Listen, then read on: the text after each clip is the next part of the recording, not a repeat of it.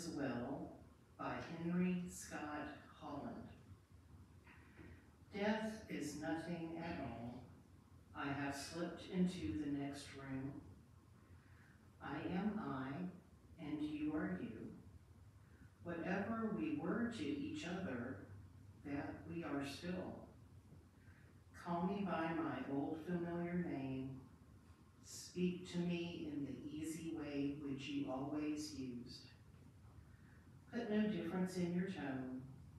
Wear no forced air of solemnity or sorrow. Laugh as we always laughed at the little jokes we enjoyed together. Play, smile, think of me, pray for me. Let my name be ever the household word that it was always. Let it be spoken without effect, trace of shadow on it. Life means all that it ever meant. It is the same as it ever was. There is unbroken continuity. Why should I be out of mind? Because I am out of sight. I am waiting for you, for an interval, somewhere very near, just around the corner. All is well. And I just like that poem because sometimes when someone dies, we're afraid to say their name because we don't want to cause pain to, you know, the person's wife or mom or whoever. And sometimes it's more painful not to say their name. So I just wanted to read that and remind us it's okay to say Mr. Hayes' name. So yesterday I got to meet with the family, and after listening to everyone, um, it was said that Mr. Hayes should have been a cowboy because he loved to roam. As I listened to his family talk about him, a song came to my mind, and I think it describes Richard well. It's America the Beautiful, and that might seem kind of odd, but I'll tell you why. The song talks about the beauty of the lands of the USA, but it also talks about the beauty in the people and the beauty of the American dream. And I think Richard demonstrates all three. Oh, beautiful for spacious skies, for amber waves of grain, for purple mountain majesties above the fruited plain. Richard loved to roam. During his time in the Air Force, Richard lived in Michigan, California, Hawaii, North Dakota, and after he married Carolyn, they would drive out west and see Yellowstone and the redwoods. They went to Florida and the Hiawassee State Fair. Richard just liked getting out there and getting things done. He loved piddling around and fixing things, building gadgets, mowing his grass. He loved using the lawnmowers, and when one of the mowers was beyond repair, he turned it into a pull cart and used it to ride the kids around the yard. Oh, beautiful for heroes proved in liberating strife, who more than self their country loved, and mercy more than life. Richard was that hero who proved himself through the strife of the Vietnam War, being stationed in Thailand. Richard served with the Air Force for 24 years and retired with the senior non-commissioned officer rank of Master Sergeant. Later, Richard would say that he thought about quitting once, but he buckled down and kept going. Richard was a B-52 bomber mechanic and did quality control, making sure the chaff distraction, distraction devices were working on the plane. Um, yeah, that was explained to me and I only barely got it, so, yeah, You can ask the family about that, it was very interesting. Um, he also learned heating and air conditioning in the Air Force. Oh, beautiful for a patriot dream that sees beyond the years, thine alabaster cities gleam, undimmed by human tears. Richard had that patriot dream. Born during the Depression and raised in Buford, Georgia, Richard came from humble beginnings. Often he would go to school barefoot and in well-worn clothes, only for the wealthier kids to make fun of him. He quit school early, but earned his diploma through an extension course. Richard had that patriot dream, for he longed for the American dream. He longed for a career and family, a house and a car, and he achieved those dreams. His family remembers with laughter the story of Richard and his first car. He had saved and saved, and he finally got that new car, and well, like any good American young man, he had to take it out and see how fast it would go. Well, in Buford, Georgia, that car went just fast enough to get the attention of the local police officer. And that guy stopped young Richard so they could discuss the car's accelerator pedal. Richard told the policeman he had just never had a car before and he wanted to see how fast it would go. Well, the officer felt sorry for him and just let him off with a warning, because guys will be guys. Richard had that patriot American dream, and in 1989, when this pretty lady came into Electrolux, um, the store for a vacuum, he saw his chance for that dream. As they were wrapping up their sales discussion, Richard tried his skills at the assumed close if you haven't been in sales. That's where the salesperson asks the customer an assumed question like, where should I send your package? Or how many of these would you like? And so Richard uses his little tactic and he, he says, um, let me find the quote because it was just too cute. He just says, write down your number for me. And because he was going to call her for a date. And she said, well, how do you know I'm not married? He said, well, I don't see a ring, so I just thought I'd take a chance. So Carolyn dutifully wrote down her number, and then later Richard would joke and say it was the only time she ever minded him. I thought that was funny. Anyway, lastly, Richard got that family he wanted. He got daughters, Wanda, Diane, and Debbie, and son Wayne, along with his sons-in-law, Johnny and Paul.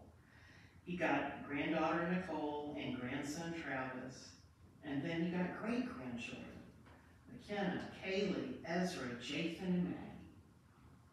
He was so proud of his kids, and his grandkids, and his great-grandkids. And when Nicole graduated from nursing school, he was over the moon. Richard valued family, and it was family that cared for him up to the end family would come by and check on Carolyn. Nicole gave him his medication on schedule. Family came to the hospital. Family got him whatever he wanted to eat. And in his last days of life, Richard wanted strawberry cobbler. Wanda bought the strawberries and ran home to make him his cobbler. Richard got to eat that cobbler and I imagine it was the best cobbler in the world. Richard Hayes may have had humble beginnings, but he achieved the American dream. He educated himself, he sacrificed for his country, he got the house, the car, and the riding lawnmower, and he got family. And now he leaves this beautiful legacy that we see when we look around this room of friends and family. Amen. Um, can I say a prayer for us again? Oh Lord, I just thank you for this time together and the chance to just remember Richard and honor his, his name and his life and his memory. We do thank you for the ways that he touched this world that no one else could. And we just leave him in your gracious, loving arms for the next life with the sure and certain promise that we will see him again. I pray your peace and your strength for everyone in the room. In Jesus' name.